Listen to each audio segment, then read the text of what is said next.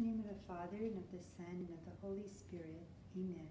Novena to Saint Therese of the Child Jesus. Heavenly Father, help us understand and treasure the grace of the little way that Saint Therese has taught us.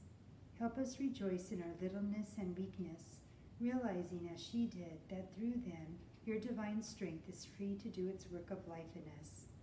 Show us that nothing is an obstacle, but that everything, temperament, situations in which we find ourselves, our duties in life, are materials for the prayer and sacrifice the world so desperately needs.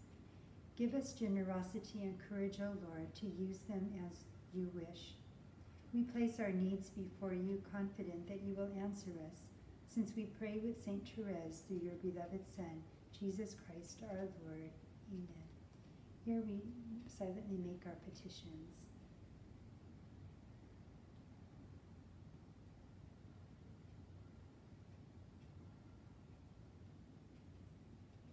Our Father, who art in heaven, hallowed be thy name. Thy kingdom come, thy will be done on earth as it is in heaven.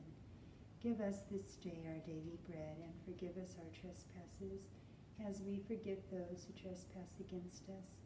And lead us not into temptation, but deliver us from evil. Amen. Hail Mary, full of grace, the Lord is with thee. Blessed art thou among women, and blessed is the fruit of thy womb, Jesus.